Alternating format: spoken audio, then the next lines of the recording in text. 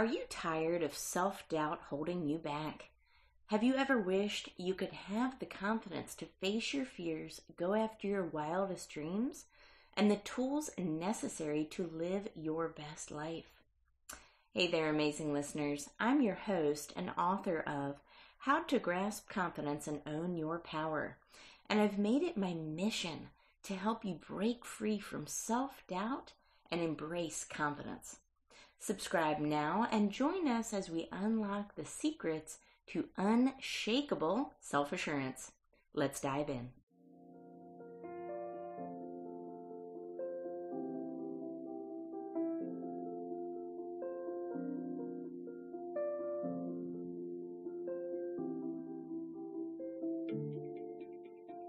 Hello, everyone. Thank you so much for tuning in to another episode of Grasp Confidence Podcast. I am your host, Tara LaFon Gooch, and this is a different podcast based on confidence than other things out there. And I can say that because of two reasons. Number one, we go really, really deep into the subject of confidence and personal development. This is not just scratching the surface and giving generic advice. This is giving deep and profound truths that help you elevate yourself and live your best, most confident life. The other reason this show is so great is because I interview, and I'm so lucky and grateful and fortunate to interview the best people in the world, the top experts, people that help guide us on our journeys of confidence. And today's no different. So I want to introduce my next guest, and tell you a little bit about her journey and how she can help you guide yours. Please introduce yourself.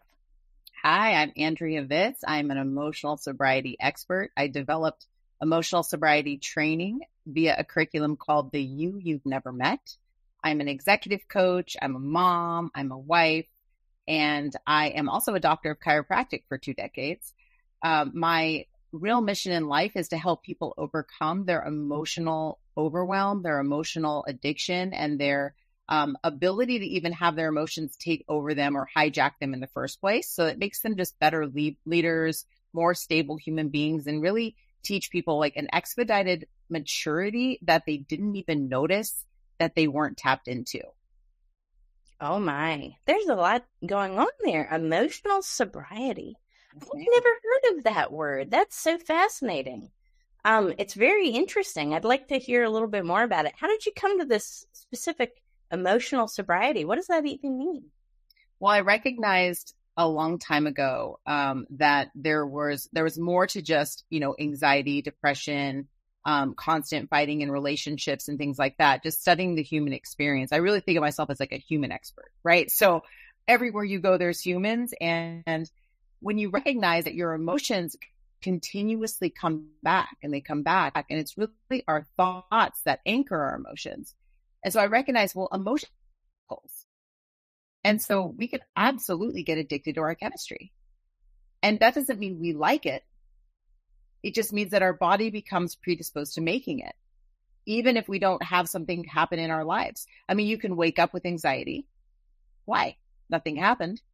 So you would then have to recognize the chemical was already being made in your body and you woke up and maybe you matched it with a thought or maybe you didn't and you were just experiencing the chemical. And so the idea of removing the emotional addiction brought me to the word sobriety. Mm. And I thought, and I thought, wow, it's emotional sobriety. And then I found that emotional sobriety is actually something that's been talked about for, I don't know, the last 60 years.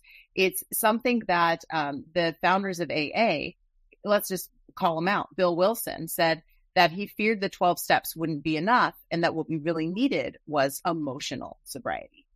And I know what he was saying there because he never developed anything surrounding what it specifically was or how to get it. But it was toward, I think, the end of his life that he mentioned this. And so it was really for the next step or the next people to come in and pioneer. And I recognized, okay, that was obviously my calling. I was supposed to have this download of information about what emotional sobriety truly is and how to attain it. Because it really isn't enough just to be emotionally intelligent. You have to get to a place where the emotion itself doesn't even enter into your system. And the only way we can do that is through specific training to change our personality, to change the way that we react to things, to change the way that we think. And when we shift our perspective, we don't make the same emotions we used to make. And we're from a complete, we come from a completely different place at that point. We present as completely different people and we have complete leadership over our lives, which makes us better leaders in general. Well, what you're describing is is the foundation, you know, and and a lot of people um to your point, you know, we sometimes think we need one thing, right? But we actually need another. And in order for us to get to that ne- next level of our journey, whatever that is, if we're trying to be a better leader for our team at work or a better leader for ourselves or better just mom and human being, right? Yes. There's these foundational things that we need to work on. And this goes for anybody, right? But as I would think, especially somebody that as you talked about, is waking up anxious. And when you said that, it really, really resonated with me. I actually got goosebumps because it wasn't so long ago I felt that way too. And I think a lot of people are waking up this way, crying in the shower to hide it, right? And on the surface, maybe they seem fine, but these emotions that we're experiencing are kind of almost anchoring us to a place we don't want to be anymore. What do you think about that? I 100% agree with you. I think every single human being has an addiction to at least one emotional state that they've relived over and over again since they were very little. And the way that I think this happens is it's something called uh, that I call the anatomy of the of emotional insobriety. And so it's the anatomy. It's the things that make up your specific insobriety. So that would look like your trauma or past experiences or conditioning that you've exp- that you've had in your life that have imprinted in your brain as truth. So that could be you're not lovable, you're not important, you're never going to be good enough, you are a yep. joke, you're going to be betrayed. Fill in the blank there. Hmm. okay? Everybody has one or several but they're not always exactly the same. And so I want to give space for people to find their specific one and, and put it in there. Now, recognizing too that this belief that you have from this trauma, right, will then become a filter through which you look at the world. Every single interaction, every single experience you have is filtered through that filter of I'm not important, I'm not good enough, I'm not loved, I'm a joke, I'm going to be betrayed. Mm-hmm. And so when that happens, you can find evidence of your belief everywhere. And that is the scary thing because now what seems like a different situation is not really a different in sobriety. It's a different situation, same in sobriety. Wow. Right. And here's the kicker. Once that belief is seemingly validated, we're mm-hmm. flooded with the chemistry, the chemistry of our past. We're flooded with the same chemistry that came from our initial traumatic experience that we've practiced over and over and over and over again. So our body became addicted to making it. So that same flood of the same anxiety, the same embarrassment, the same resentment, the same offendability, the shock, the sadness, whatever is your specific flavor of emotional addiction is always present with you until you catch it and take full responsibility for your chemistry. Now, your emotional state dictates the quality of your life. It's it's not an arguable fact. Your emotional state dictates the quality of your life. And what controls how you feel controls you. That's why advertising works. Yes. yes. Controls, controls you. So wouldn't you then want complete ownership over what controls the quality of your life? Because what happens when I'm flooded with that chemistry, or when we are flooded with that chemistry, is we become intoxicated. Because chemistry is a toxin, usually, and that toxin makes us intoxicated. No different than if I drink a 12 pack of beer. I'm not going to be me after that. Everything I say and do after that is coming from a very deep rooted subconscious, traumatically influenced space.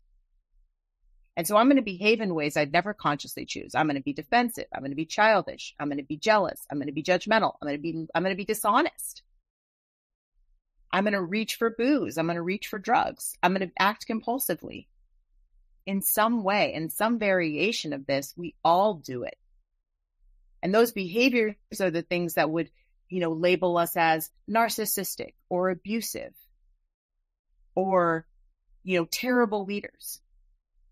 And they get us in trouble. And the, we're either hurting other people or we're hurting ourselves in those moments. And I call those emotionally triggered behaviors. So that's kind of the anatomy that makes up your in sobriety or what we could call your intoxicated identity, the version of you that isn't really you. And it all stems from your chemical state.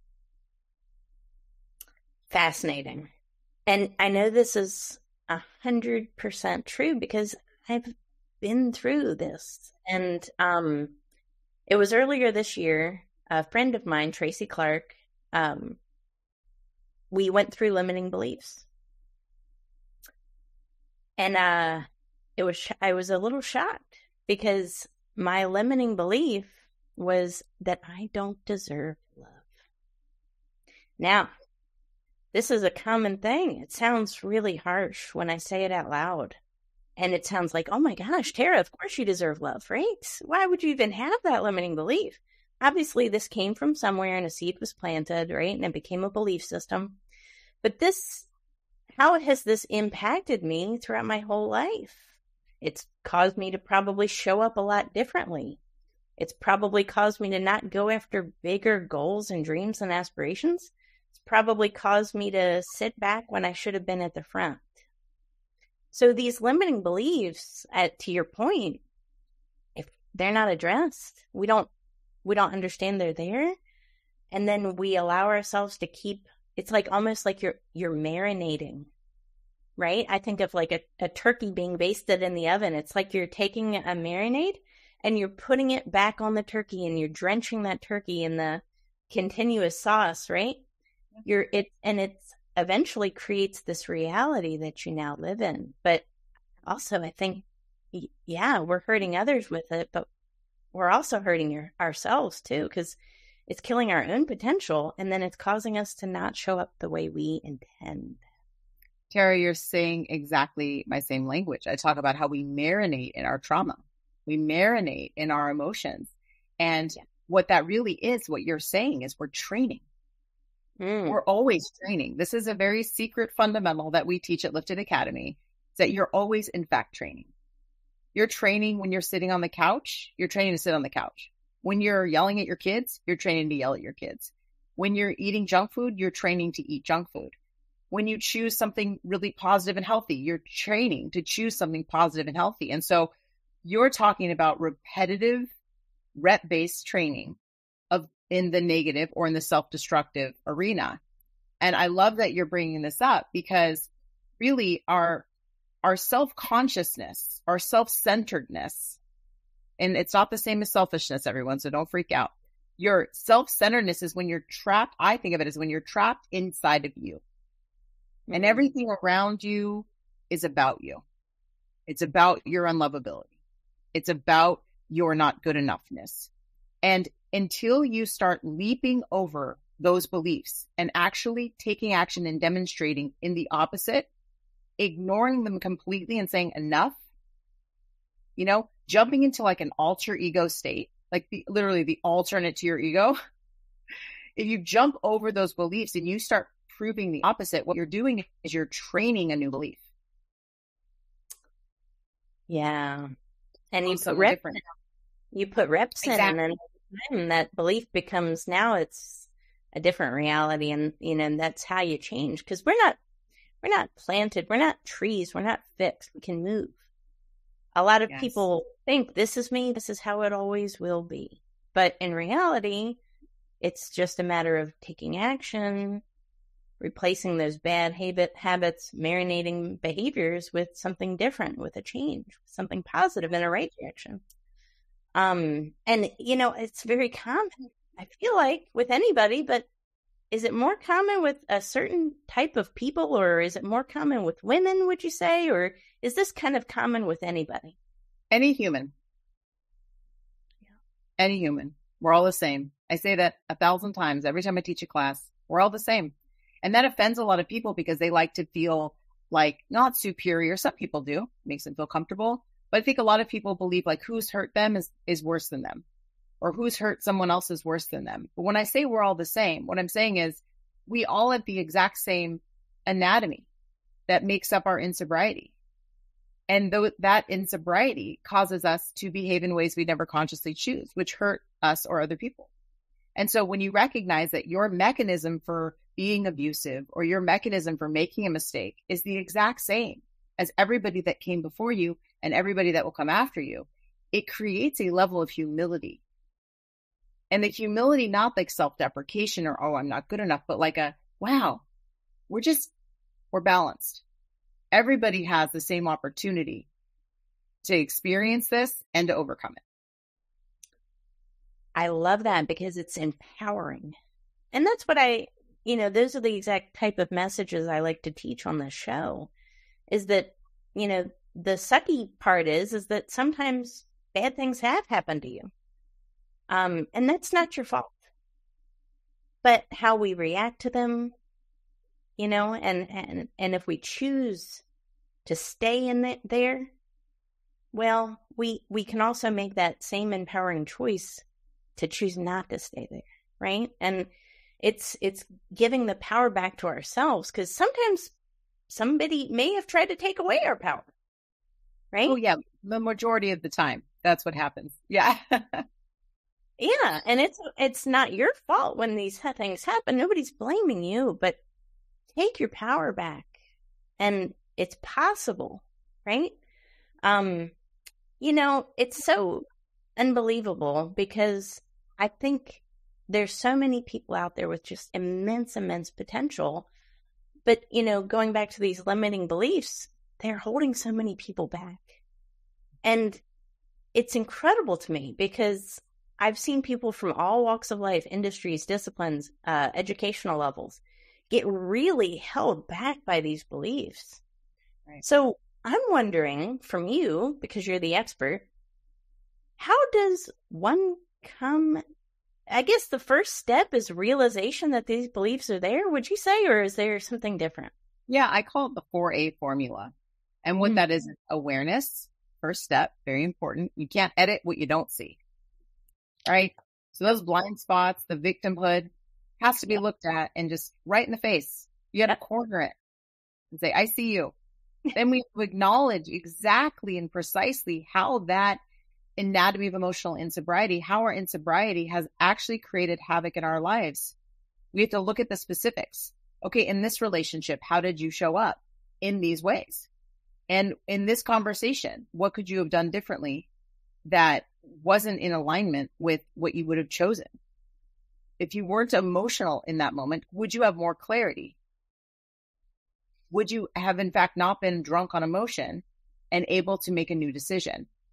And when you see it in your face, how your insobriety has affected every decision, every relationship, every outcome, it's affected you financially, it's affected you in love, it's affected in how affecting you how you parent and in your friendships. When you see it, it should instill in you a moment of that's it. I'm not doing this anymore.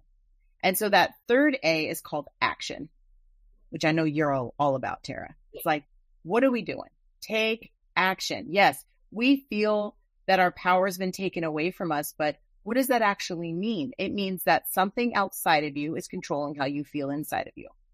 That's what it means to give your power away, by the way. That's, that's a, I want to shine some light and directly define what that is. If I'm allowing my emotional state to change because of something you've said to me, then I'm giving you my power or something that you've done to me. I'm giving you my power. But what you said earlier is people may have tried to take your power away. Well, yeah, people that don't believe in their own power attempt to take other people's power and they do it by changing the way they feel. So when you have all of your power, you know that you're good enough. You know that you're, that you're loved. You know that you're important and that you're valuable and you've earned it.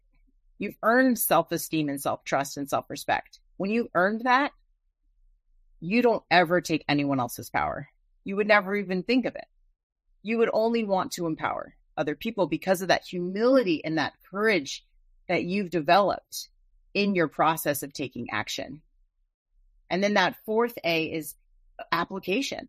It's applying and demonstrating the new version of you so many times, repetition, so many times that that now becomes your default state.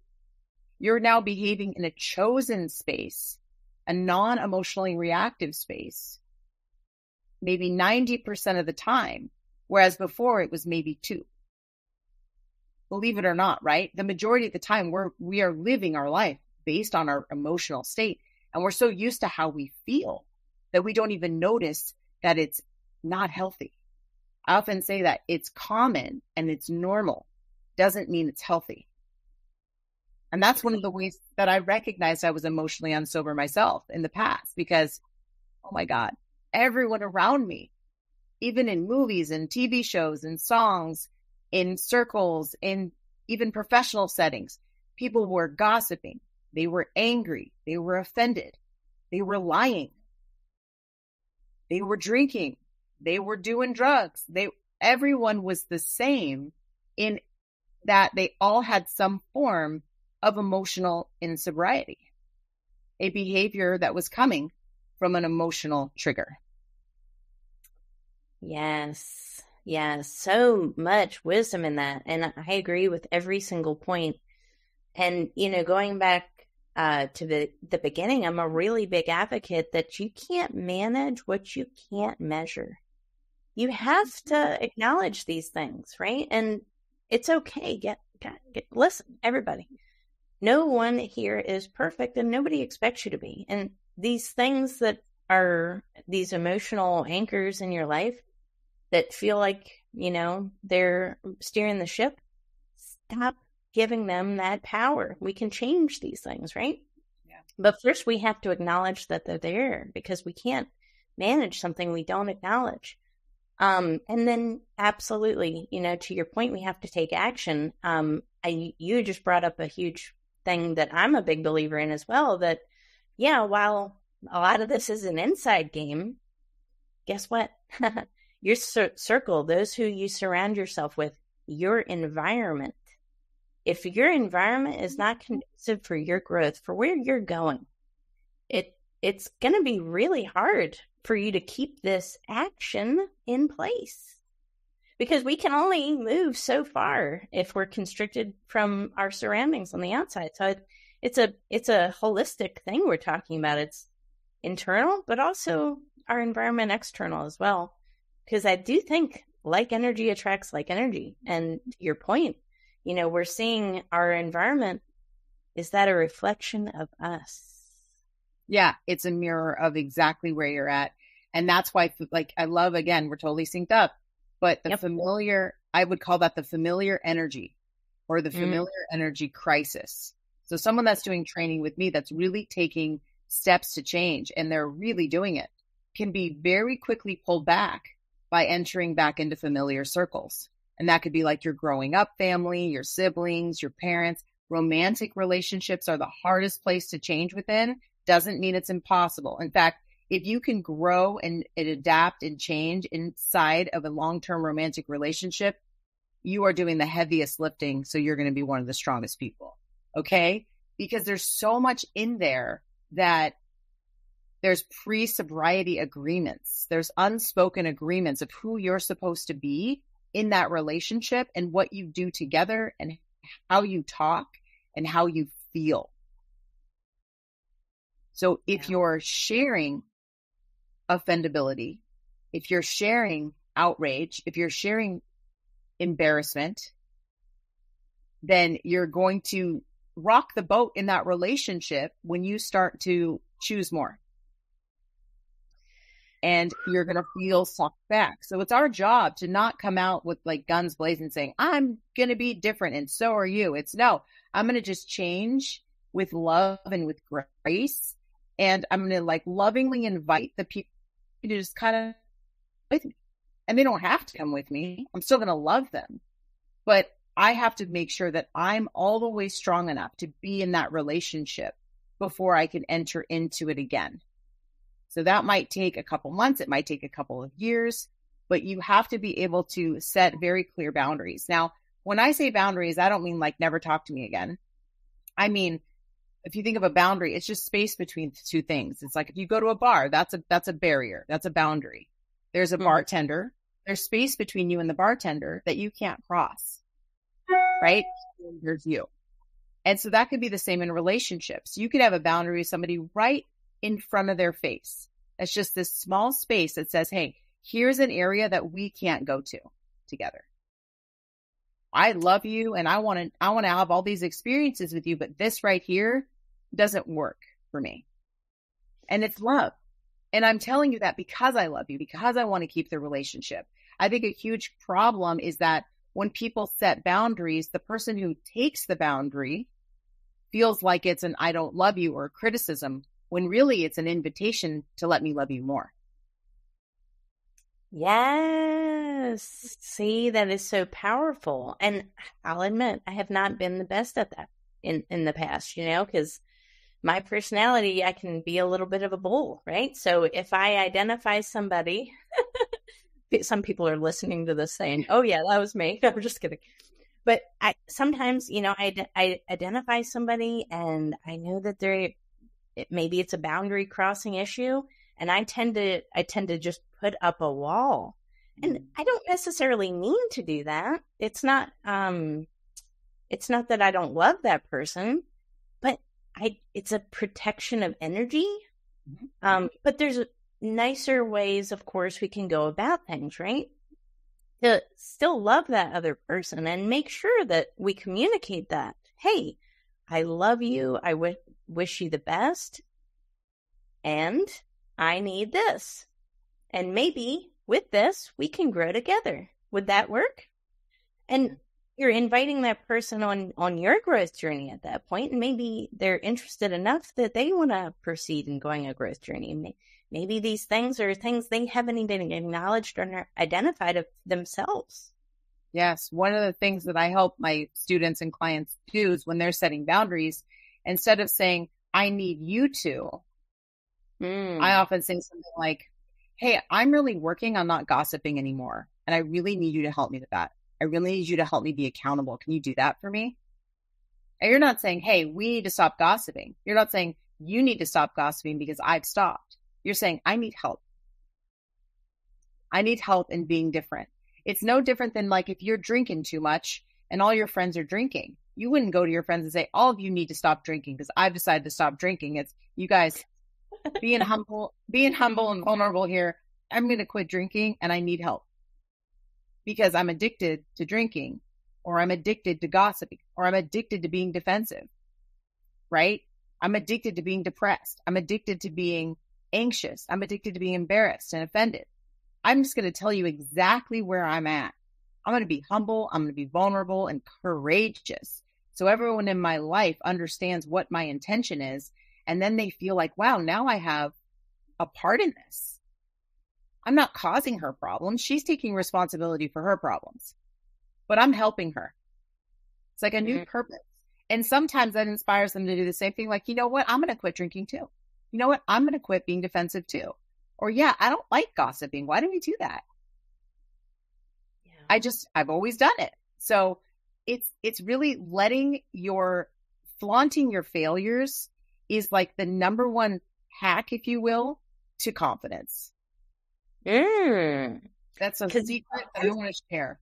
it's authentic and it's it's it's a it's a humility approach like going to people um there's a saying in business if you ask someone for advice or pardon me if you ask someone for money they give you advice but if you ask someone for advice they give you money have you ever heard that No, but it's fantastic. but it's true, right? So, and we immediately relate to that because everybody's had us ask us for money, and we were like repelled, repelled by it. We're like, oh God, let me give you advice. You flip the script and you ask someone for advice, and all of a sudden, you start getting interest in the business you're in, right? And the same thing in our healing journey. Again, bringing people with you, not repelling them, not saying, listen, hey, I'm doing this. Good luck. Uh, I can't be with you anymore. Uh, God bless. Instead, saying, I love your approach, by the way. Hey, I'm working on this. This is really important to me. Um, can you help? Can you help me? Can we do this? Maybe we could do this Yeah. together. Maybe we can. Um, and that sounds so much better than what I used to do. We've all done it. Flaunt that as a failure. I do it all the time. Where were you a couple years ago when I was burning bridges? I don't know. Um, but yeah, flaunting our failures and not being perfect because nobody wants to hang around somebody that's perfect. Well, and there's it's an unattainable fake illusion. You know, yeah. perfection does not, it's so subjective. And your version of perfect, I can guarantee you, is surrounding the theme of your self beliefs. So if I believe that I'm not good enough, then I have to be perfect at all the things in order to be good enough. Okay. If I believe I'm not lovable, then I have to be loved by everybody mm. in order to be perfect. That is impossible. Yep. If I'm not important, I have to be important to everyone and about everything. And that's just an impossible feat. And so most of the time when people say I'm I'm perfectionist or I want to be perfect or I'm never going to be perfect, it's like, yeah, you're you're not because there's no such thing. It's made up in your head of what that looks like and every time you get close to what you think of as perfect, you're going to move the target. Because you still believe you're not good enough. So you'll find the next thing that you're not good enough. I'm not good enough. See, I'm not good enough. And so confidence really, I believe, has to come from flaunting your failures, achieving that state of humility of like, wow, we really are all the same. So all I can do is better than I was, be better than I was at my emotional and sobriety, be better behaviorally, um, be kinder to people, be more thoughtful, less self centered, and just approach everything in action, taking a leap, being super aware of where I need to take that leap and just going for it. And whoever you need help to help you, ask them for help there's a reason we're not alone on the planet, everyone. Yep. Exactly. We're not supposed to do it alone. No, we're not. And we look at, you know, even our bodies, right? So our bodies, and maybe you'll appreciate this, they're individual cells working toward one greater purpose, right? And the greater purpose is to keep us alive and healthy. Um, if one of those cells decided, you know what, I don't need you guys, and then maybe a couple others joined, we could have some problems, right? Maybe autoimmune disease or something like that uh, could happen. So, just as our bodies work as one unit, so we should work as a collective, and that's the power of you know coming together. That's the power of uh, co- of collaboration over competition. Because singularly, we're pretty good by ourselves, but we're really great when we work together. And regardless of who you are or what your goals are, I think that builds confidence too, because all of a sudden you're not so alone in this world anymore. And you're finding your tribe and you're leaning into your strengths, and you don't have to do all the things because you have a team of people around you that want the best for you and are supporting you. It's pretty powerful. And that goes back to that environment we talked about too, right? Yeah. Well, you're going to be creating a new environment when you tell people what your intention is people will instantly be on their best behavior when you tell people that you're going to be on your best behavior. Ooh. So if you're, you know, starting a conference or you're you're leading a team or something, it's like, you know what, I'm to do this. I'm to announce what I'm to do, and then everybody will everybody will just sit up straight. In fact, there was a teacher that um, did a study just in their own class, and it was telling the kids, show me, show me what it means to be a good student. And they all went, sat up straight. They were focused, head straight like this, right? And everybody was fully paying attention, which brings me to this conclusion that if we all instinctively know what good behavior is as a human, if we all know that being kind and thoughtful and honest, all those things, we all know that that's quote good behavior we have to know that we're not in good behavior in order to make that shift, right? So like if you're if you're yelling at your wife or your husband and then somebody walks in the door, you're going to snap straight. Well, why can't we just do that right in the before you're being witnessed? Right? Or if you're driving in your car like you're speeding like crazy and you see a cop, why do you instantly know to slow down? So we don't just intuitively and naturally as a default do things that are safest for us or do things that are actually healthy for us. we do all the things but that. And then when we're called on it, we can shape up. Just find that area where you were talking about, like, how do we take action over this? How do we make the change? Well, we would have to recognize versus what we would do if we were being observed and do that. Yes. Just be that person and practice being that person every chance you get. And this is what I say to my students. If you are in emotional sobriety training, you never come home from the gym. You're always training. I think about emotional sobriety when I'm in the shower, when I'm driving my car, when I'm talking to my husband, when I'm parenting. I think about it when I'm with my patients. It's always there. Right? Yeah. Surround yourself in your mind's eye with the people that you respect the most and pretend they're always observing you. Yes. And I like that approach because honestly that's that's the honest approach.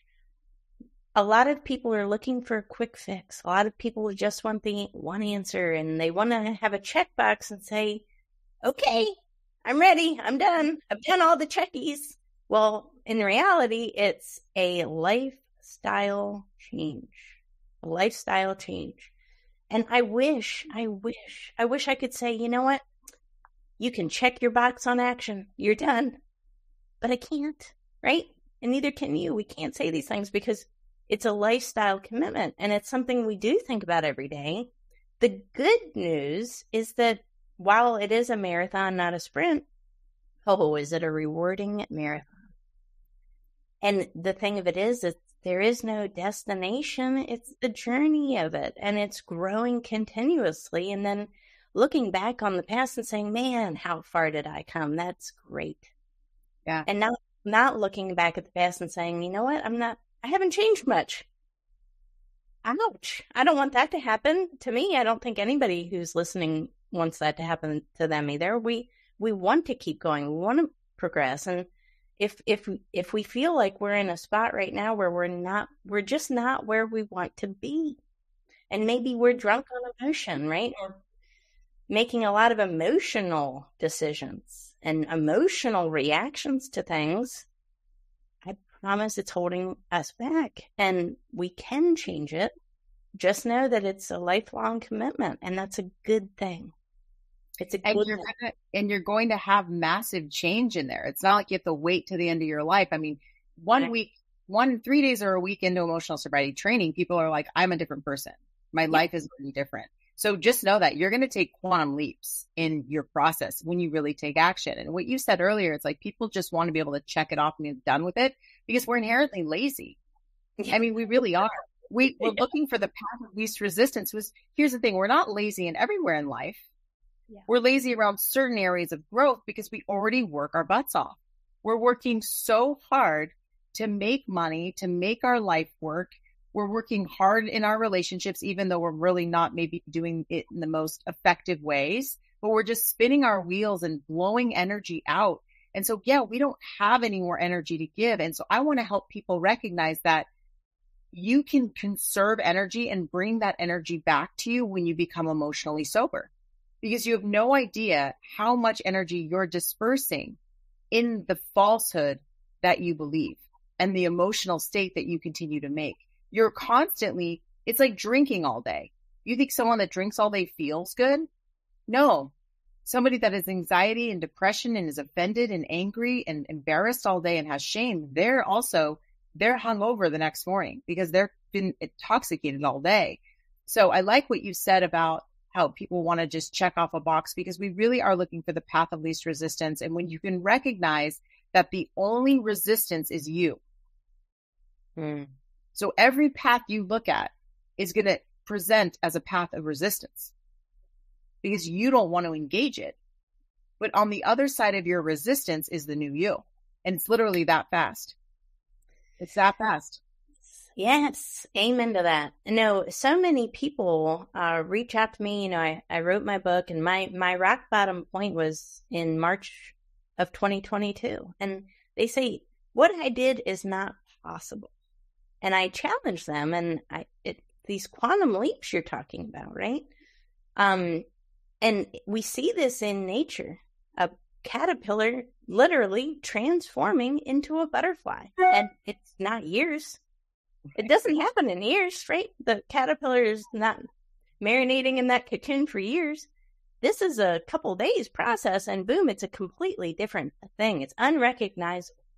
Yep. This same exact principle can be put on us as human beings, and we can literally transform. When I look at pictures from two years ago, I may have been younger then. I look better now. So it also not only does it cause you to show up in the world differently, it increases your success, it makes you a better leader, friend, mom, husband, whatever. But it also causes you to look differently sometimes too. Oh yes. Which is I wasn't expecting that. I look completely different. Yep. You look completely different, don't you? You're a completely different person. Yeah. And it's possible for anybody. It's true. And in fact, my husband and I, we do three to five day events where people completely transform in that time. Wow. And, and it's sustainable. This is the thing because we leave you with the tools and the hand holding and the guidance if you need it to sustain that forever. And not only that, but to keep it like advancing it. Mm. Because it doesn't take a lot. It's when you simplify change, any problem has a solution. Yeah. Right? It's just, it's a formula. I'm just waiting for your TED TEDx talk. Uh, when oh. you know, I can't wait for that because that'll be a good one. I Thank the you. world needs the world needs to hear this information, right? They need to hear that we're drunk on emotion because I'd never heard that before until I met you. And when you're saying this, it all makes so much sense because it is real. This is the solution, right? It's this emotional intelligence training we're talking about. So much of our heartaches and hardships are from past events that we're drunk on and we can't stop thinking about. And if you are suffering from depression and anxiety and we have ruminating thoughts, again, it's marinating. You're basting your brain in these negative thoughts and emotions. And then we take those thoughts and emotions, these things, and it causes us to show up differently in our present realities. Yeah. It causes our environment, right? And the relationships we're in, the jobs we have, the people we talk to. Because it is a game, a total game changer. I went from having this limiting belief of I don't deserve love, right? Which was holding me back in every aspect of my life to no, oh yes, I do so does so does other people so do other people around me. And then i'm going to take this now and i'm going to start showing up differently. So if i got rejected in the past you know what? I used to kind of go into a little cocoon a little cave. Oh i'm rejected. I don't deserve love. That's another re, re uh you know uh yep yep that's true. It must be true. To now you'll maybe you'll appreciate this. If i get rejected i say to myself only because I didn't ask for more. Mm-hmm. Mm-hmm. Changes the game a little bit, right? Totally does because what we truly believe will be evidence in our life. So, for example, if you feel you don't deserve love, you're going to find proof of it everywhere. You're going to have relationships that you drive away because of that belief. And so it's like they say a self fulfilling prophecy. I used to hate that, by the way. They so say, I'm not purposefully doing anything. It's like not what we're saying. I'm saying all the things that you do that are emotionally triggered will give you your exact belief in reality. I'm so afraid I'm going to be betrayed that I'm going to hyper attach to this person. I'm going to follow them around. I'm going to check their emails. I'm going to check their text messages. I'm going to get super jealous. I'm going to be hysterical. And then guess what happens?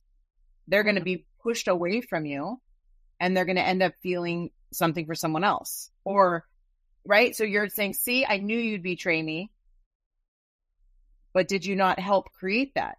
Now, I'm not saying it's anyone's fault if they get cheated on or whatever. I'm saying it's our responsibility to look for where our insobriety contributes to our problems. Exactly. Exactly. And I say total humility because I've been on all sides of that. I've been on all of them. I've been the person that was has betrayed other people and I've been the person that's been betrayed. So it's like I get it. I understand all the sides. I'm not speaking from a soapbox here. This is all coming from recognizing when we remain victims, mm-hmm. we make more victims.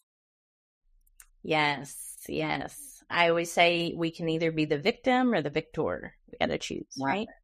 Yeah, it's always wow. Choice so much wisdom here. Gosh, uh, I already want you back in another episode um, because, you know, this ownership is something I'm very passionate about, right? And a lot of people, you know, when they are searching uh, for, you know, who's the best version of myself, what does that mean? How can I become more confident? How can I develop as a person and a human being? One of the main things they're not taking care into account is this responsibility and ownership.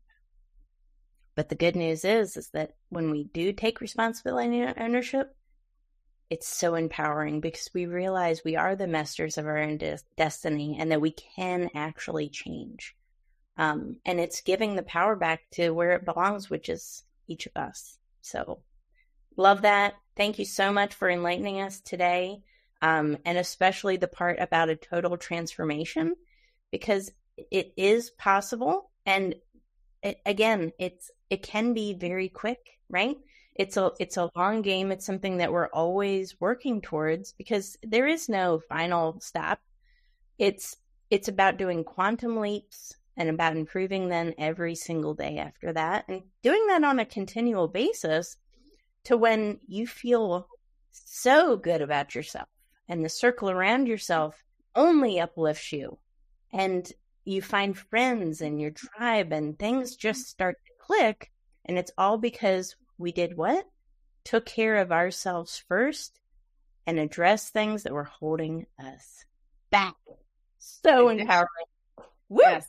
It's I'm addition by subtraction. Addition by subtraction is something my husband says all the time. It's like finding who you know you don't want to be instead of trying to make somebody you want to be. So 1st mm-hmm. start with the things that you know are limiting you, the limiting beliefs, the metabolic disruptors, all the things we can teach you on that. But I want you to recognize that it's when you remove something, it, it's just a decision to do it. It's a, it's a decision and a decision takes that long. It's that fast. You right now, like you haven't had coffee on this phone call, right? So you're, you're, right. So let's say you drink coffee every day, all day. Well, you haven't had coffee off this phone call. So one of the things my husband might say is, well, you're, you have, you're off coffee. You literally never have to drink it again. So it's in that moment. I haven't fought, I haven't fought with my partner today. I'm, I'm not do that anymore. Okay. Wow. It's once you've removed it and decided you've added energy back to your life. Yeah. Added energy back to your life that will help you transform. And I mean, here's an example of that. I was working with a CEO of a very, very big corporation and he was really struggling in his life. And when I met him, it was like lots of drugs, alcohol, compulsive behaviors, um, really, really negative, like really bad anxiety, really negative thoughts, a lot of problems. And a couple days into our working together, his little daughter walked up to him and said, Daddy, you look different. Hmm. It's that fast. Yeah. Just emotionally, like hadn't even taken out all of his negative things yet, you know, but just changing the way he was thinking was changing the way he was appearing and therefore eventually changing his leadership as well. Yes, that's so Full true. Turnaround. Full turnaround. And I, I think that's true with gratitude as well you can't fake being grateful um, because it's an energy, it's a vibration. Um, and it's not a thought.